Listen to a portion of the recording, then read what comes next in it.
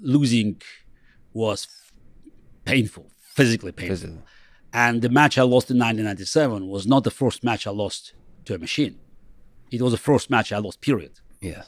Uh, that's oh wow.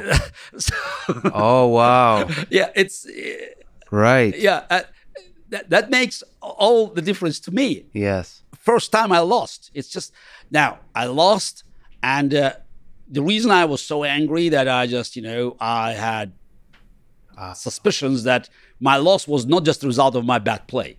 Yes. So though I played quite poorly, you know, just when you started looking at the games today, I made tons of mistakes. But you know, I I had all reasons to believe that you know there were other other factors that had nothing to do with the game of chess, and that's why I was angry. But look, it was 22 years ago. It's water under the bridge. We can analyze this match and